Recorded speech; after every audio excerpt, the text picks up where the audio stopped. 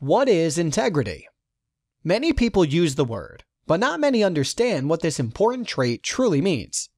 To illustrate this concept, let's go back to a story from 19th century England. One day, a farmer was walking in his fields and saw a party of huntsmen riding through his land. He became worried that they would ride through the area and cause a great deal of harm to the crops growing in his field. He called one of his servant boys and instructed him to close the gate to the field and keep a steady watch, and that under no circumstances should he allow the huntsmen to go inside. The boy did as he was told.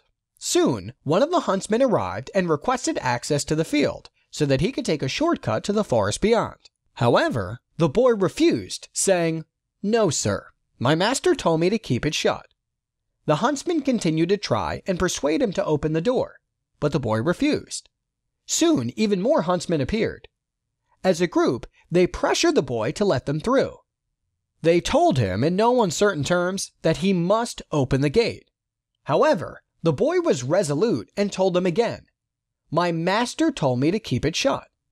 At that moment, a noble looking rider came galloping up to the gate. He called on the boy to open the gate and let them through. He told him that this was nonsense and the boy must open, but the boy refused. One of the huntsmen asked the boy, Do you know who you are talking to? It is the Duke of Wellington. To this, the boy responded, I still cannot help it, sir. My master told me to keep the gate shut.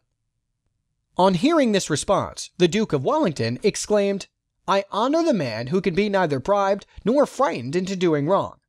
With an army of such soldiers, I could not only conquer the French, but the world. It was said that the Duke never forgot the boy's resolute adherence to his master's instruction, and later paid for the lad to be educated in one of the land's finest universities. Elder Joseph B. Wirthlin once defined integrity as always doing what is right and good, regardless of the immediate consequences. It means being righteous from the very depth of our soul, not only in our actions, but more importantly, in our thoughts and in our hearts.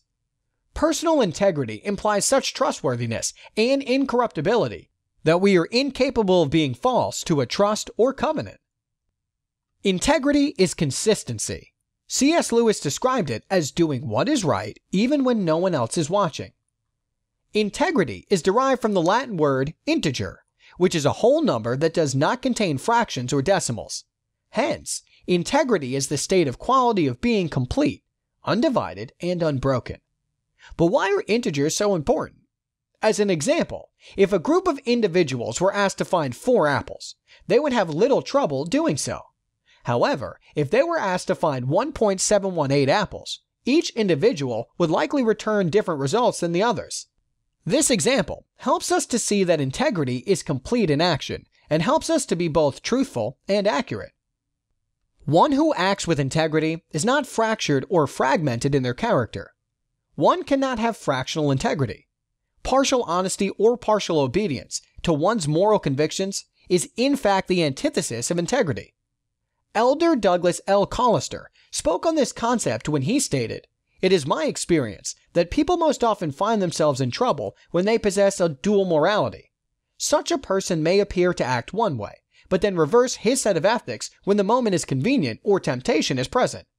Such duplicity only leads to sorrow and misery. At all times, be sure that there is only one of you. Otherwise, you will find in your personal life that a house divided against itself is destined to fall. Now that we understand what integrity is, why is it so important for a leader to possess it? I believed in, I believe in principled leadership. I think that leaders ought to have principles, and not just any principles, but good good principles. And I believe that um, there's uh, there is actually right and wrong, and I think that integrity definitely falls on the side of of things that are right.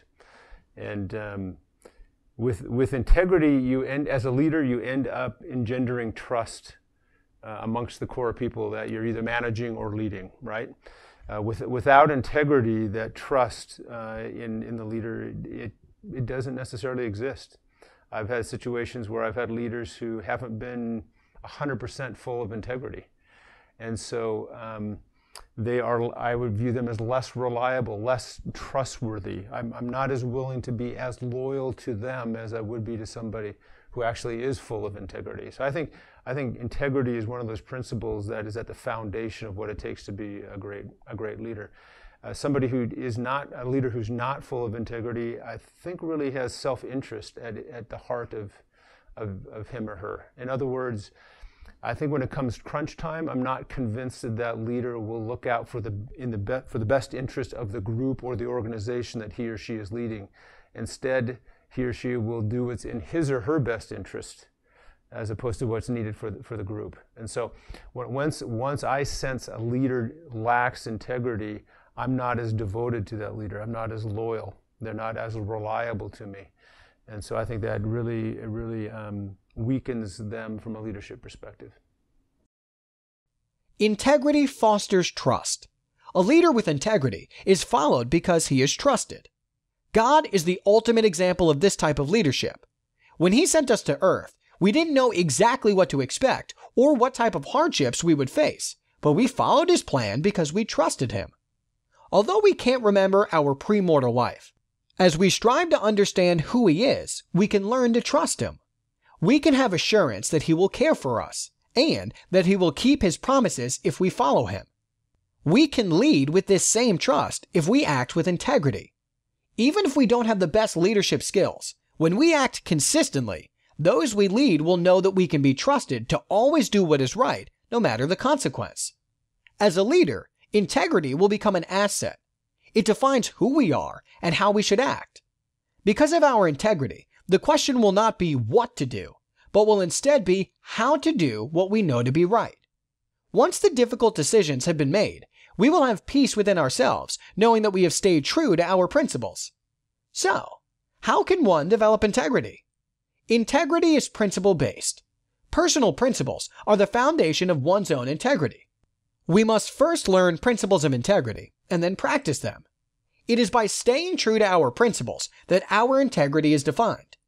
As we strive to live by them, we can learn from our failures and build upon our successes. Every time we are obedient to our morals, we gain momentum and courage to continue doing what we know is right. Developing integrity is truly a lifetime pursuit. Like the boy who kept the gate shut, we too can have integrity and we can live by good principles to guide our lives. As we lead with integrity, we will create trust and consistency. Regardless of the outcome, we will have peace within ourselves because we have stayed true to what defines us.